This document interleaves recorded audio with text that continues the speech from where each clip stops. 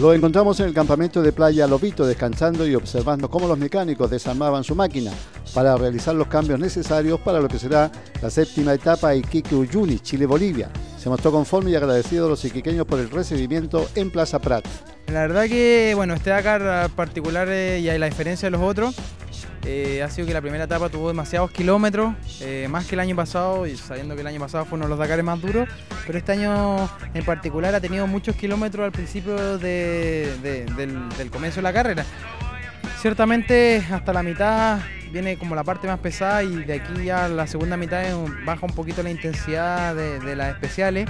Eh, así que contento de haber llegado a la primera parte bien, bien físicamente, en buena posición en la tabla. Hoy día me fue muy bien, terminé en lugar 11, eso es muy bueno, así que nada, está todo funcionando perfecto. ¿El recibimiento acá en la ciudad de Iquique? Espectacular, la verdad que se agradece a toda la gente que nos va a esperar en, la llegada, siempre es una inyección de energía, todo el apoyo de la gente.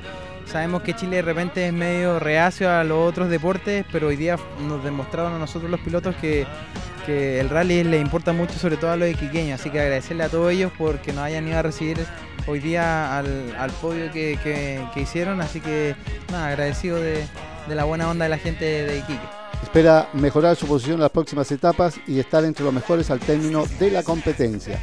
Otro de los chilenos que destaca es Pablo Quintanilla, que fue primero en llegar a la Plaza Prat de Iquique. Se refirió al recibimiento de la ciudadanía, más de 2.000 espectadores. Por otra parte, Ignacio Casale en cuadrimoto llegó primero a Iquique peleándole la punta al polaco Rafael Sonic. También agradeció el recibimiento de los iquiqueños.